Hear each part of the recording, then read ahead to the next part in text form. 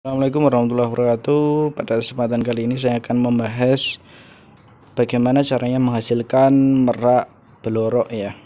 Antara perkawinan dari merak biru dan merak apa sih untuk mendapatkan merak belorok? Terus simak videonya.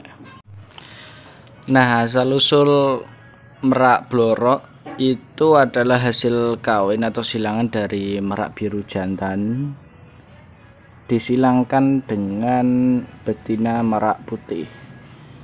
Untuk yang merak biru jantan minimal usia 3 tahun. Nah ini usia 6 tahun.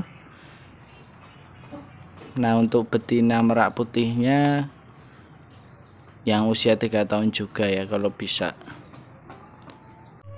Nah untuk merak sendiri untuk yang betina bisa menghasilkan 50 sampai 60 butir telur ketika kualitas betinanya bagus dan jantannya bagus seperti ini. Jadi peluang untuk mendapatkan anakan juga sangat tinggi ya dalam setahun. Namun produksi merak sendiri memang hanya di musim hujan atau di akhir tahun ya. Jadi tidak bisa setiap bulan. Untuk itu harus dimaksimalkan setiap musim produksinya. Untuk mendapatkan merak blorok bisa dikawinkan dengan betina merak putih seperti ini. Namun ini belum genap usianya tiga tahun ya belum ada tiga tahun. Yang jelas jika menginginkan keturunan blorok itu betinanya memakai betina merak putih ya.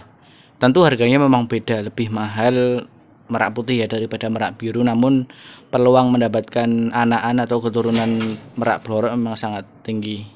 Jika ini adalah merak putih yang jantan bisa dilihat kualitasnya.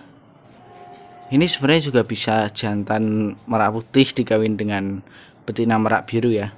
Bisa untuk dikawinkan dan kemudian bisa menghasilkan keturunan juga ya untuk bisa merah biru atau merah putih nanti anakannya tergantung gen dominan yang kuat yang mana.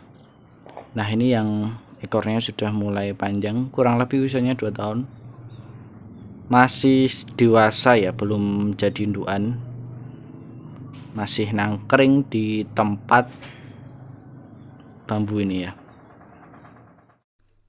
Sekian video dari kami Jangan lupa komen, like, subscribe untuk terus mendukung channel kami. Wassalamualaikum warahmatullahi wabarakatuh.